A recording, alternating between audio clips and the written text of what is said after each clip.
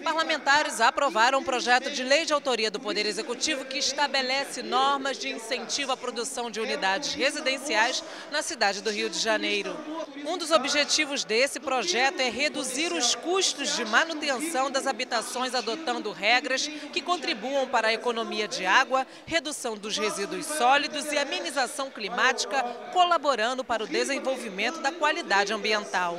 Outro projeto aprovado pelos vereadores é de autoria do parlamentar Chiquinho Brazão, que define a altura mínima de passarelas na cidade do Rio de Janeiro.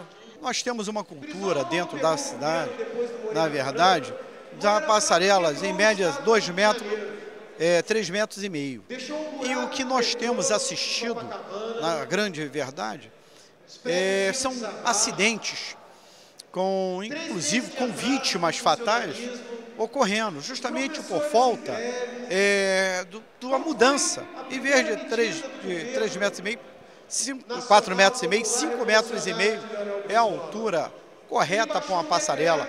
Essas foram as notícias da sessão. Eu sou Luciana Cabizieri para Rio TV Câmara.